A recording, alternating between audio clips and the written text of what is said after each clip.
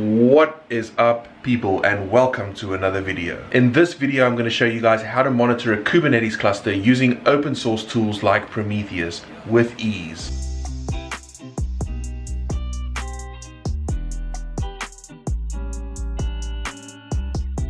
So this guide is specifically updated exclusively for Kubernetes 1.18. All the infrastructure I'm going to show you is all derived from the CoreOS Kube Prometheus repo. If you scroll down, all the documentation is here. If you need this to work on any other version of Kubernetes, you need to come over to the compatibility matrix. This will show you a table of all the Kubernetes supported versions. In this guide, I'm going to show you Kubernetes 1.18. If you need any older version or newer version of Kubernetes, you need to come over to the specific release of this GitHub repo and go over to the manifests folder. When you go in here, you'll see the manifest for Alert Manager, Grafana, Kubestate Metrics, Node Exporter, Prometheus, and everything you're going to need that we're going to take a look at in this video. So if you're new to this channel, everything I do is documented on GitHub. So if you get the Docker development YouTube series, everything I do is going to be in the Prometheus monitoring folder. I have a Kubernetes folder and I have an updated um, folder here for 1.18.4 of the Kubernetes cluster I'm going to be running today. Inside here, I have all the manifests we're going to be taking a look at, as well as a README guide with all the steps I'm going to follow. So feel free to check the links down below so you can follow along. So if we take a look at our README file, the first step is to get a cluster with Kubernetes 1.18.4. For this, I'm going to be using Kind. Kind is a great way to run a Kubernetes cluster in Docker. And this also allows you to target specific versions of Kubernetes. So to get a Kubernetes 1.18 cluster, I'm going to say Kind cluster create. I'm going to call it Prometheus and I'm going to pass in the node 1.18.4. That'll go ahead and create a Kubernetes cluster on my local machine using Docker containers. So now that my cluster is up, I can say kubectl get get nodes and we can see that now we have a one node cluster running in Docker on our machine. The next command I'm going to use is kubectl create namespace monitoring. So I'm going to create a namespace called monitoring. This is going to allow us to um, house all our monitoring resources together in a single namespace. So next up, we're going to be creating the Prometheus operator. The Prometheus operator has two purposes. It automates the creation and the configuration of Prometheus instances so we don't have to create deployments and pods and manage config maps for each of the Prometheus instances. It also gives us access to this new Kubernetes object called a service monitor, which allows us to select different services that we want to monitor in our cluster. So as we're going through this guide, once we have everything deployed, we'll be creating a bunch of service monitors to to monitor different parts of our Kubernetes cluster. We're going to be scraping kubestate metrics, node exporter, the API server, and you can also use service monitor to scrape your actual microservices applications. And that'll give us enough metrics to monitor our Kubernetes cluster. So if you take a look at our 1.18.4 folder, you'll see we have a Prometheus operator folder. So to apply that, I say kubectl apply in the monitoring namespace, and I go ahead and apply the Prometheus monitoring Kubernetes 1.18.4 Prometheus operator folder. That's going to go ahead and create custom resource definitions, um, RBAC roles,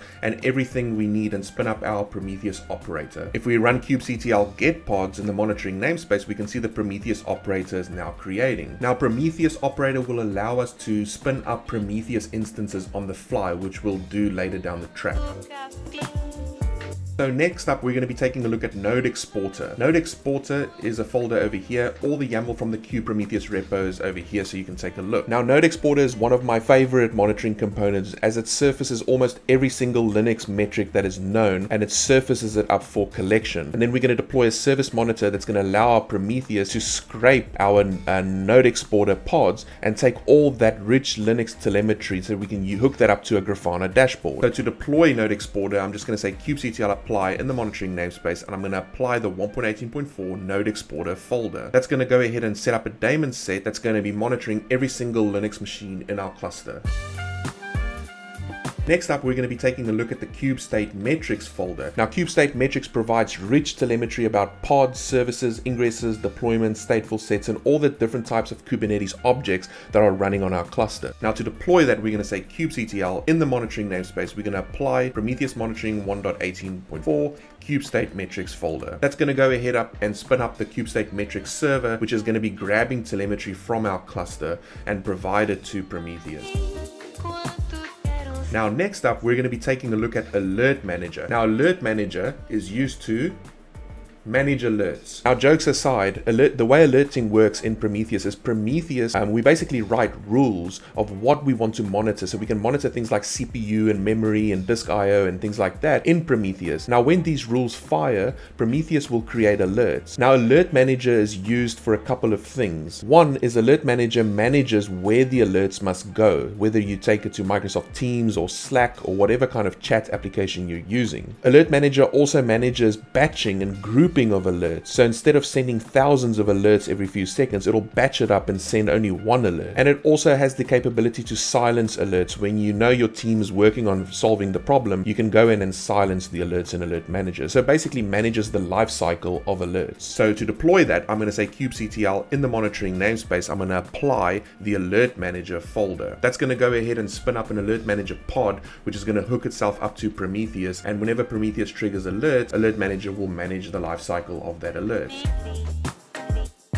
Now we're going to be taking a look at the Prometheus cluster monitoring folder. This folder represents the Prometheus instance that's going to be monitoring our Kubernetes cluster. If you take a look at every folder that we've just applied, every one of them have a service monitor. And this Prometheus instance that we're about to deploy is configured to scrape all these service monitors and pull all that telemetry in. So to deploy that, I'm going to say kubectl in the monitoring namespace. I'm going to say apply, and I'm going to apply the Prometheus cluster monitoring folder. That's going to go ahead and spin up a Prometheus pod pod, which is going to be pulling all those service monitors we've just created, as well as a couple of extra service monitor. There's a service monitor to scrape the API server. There's one to scrape the kubelet of every machine in the cluster. And then the final one, if you take a look at the Prometheus YAML itself, it has a service monitor selector that can be configured. So here we basically tell it we want to scrape node exporter, kube state metrics, API server, and kubelet.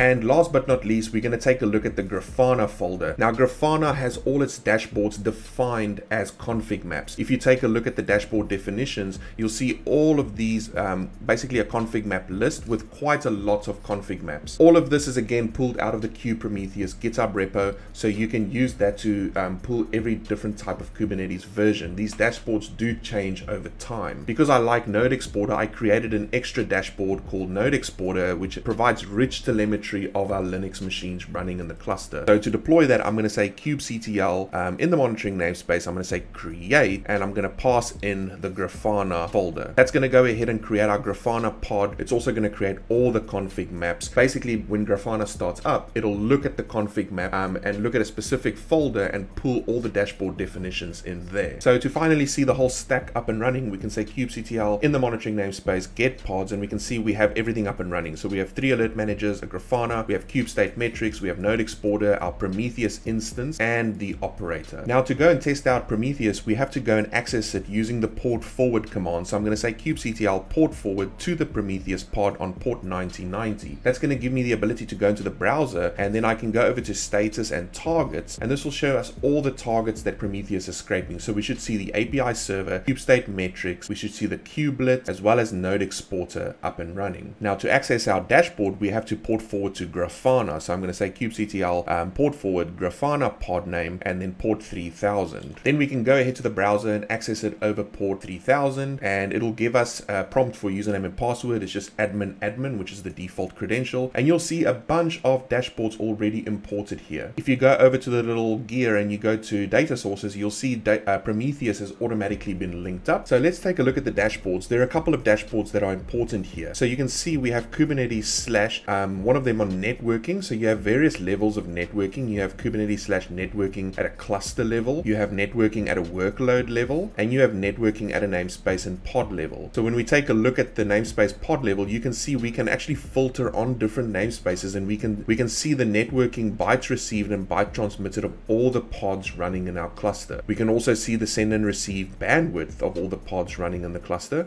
We can see packets received, packets sent, as well as errors that are of packets that are that are potentially dropped. Then we have also various levels of compute. So we have compute for, for pods, we have compute for nodes, we have compute for namespace workloads, and we have compute for namespace pods. If we take a look at the compute resources for pods, we can see that we can filter on every namespace and pod running in the cluster. We can then see CPU usage, we can see CPU throttling, CPU quota, memory usage, memory quota, and as well as some network statistics that are very useful. If we're running stateful sets in our cluster, there's a stateful set dashboard that we can also filter on namespace and stateful sets. Then we also have a very important one, which is the kubelet. Now remember there's a kubelet running in every virtual machine or every node on your cluster. And a healthy kubelet means a healthy cluster. So the kubelet will give you a bunch of metrics um, showing the health of all the containers running on that node. It'll also show you things like operation rates, pod start rates and durations. You have a bunch of storage metrics that are very important, as well as CPU usage and memory usage. If you're running a self-managed cluster, the API server dashboard is also very important, shows you a bunch of telemetry, rich metrics about the API server and its connectivity with etcd, as well as memory and CPU usage. And the other dashboard that I really like is the node exporter full. So every machine running in your cluster has a node exporter running on it. So you can actually see the different hosts that are running. So if you're running multiple clusters, you can filter on machine here. And this is really good to find bottlenecks on your on your cluster. When you identify what machine a microservice is running on, you can come in here. So usually when you SSH to a machine, you run commands like top and vmstat to troubleshoot the machine.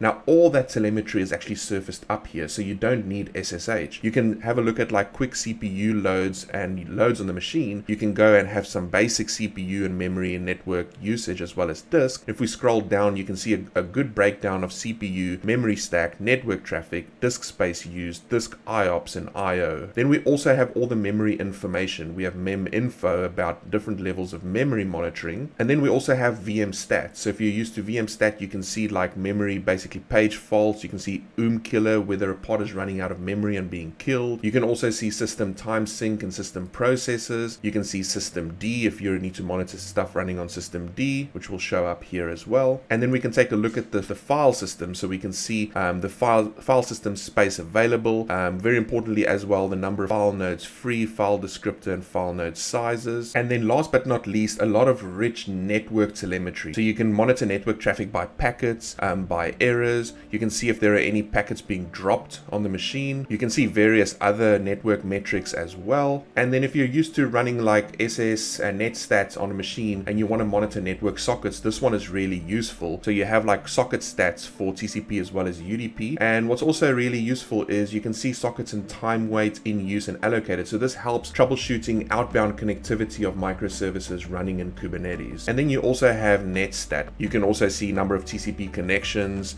and also TCP errors. And then finally you have Node Exporter itself. So that's how you set up Prometheus monitoring on Kubernetes cluster with a few simple steps. If you're new to Kubernetes and you're new to monitoring Kubernetes, check out my playlist link down below to my Kubernetes monitoring guide. I have a very in-depth tutorial playlist about how to monitor Kubernetes and each of the components that I've showcased today. Also, let me know down in the comments below, how do you guys monitor your Kubernetes cluster? And let me know down below also what sort of videos you'd like me to cover in the future. And as always, like and subscribe. And until next time, peace.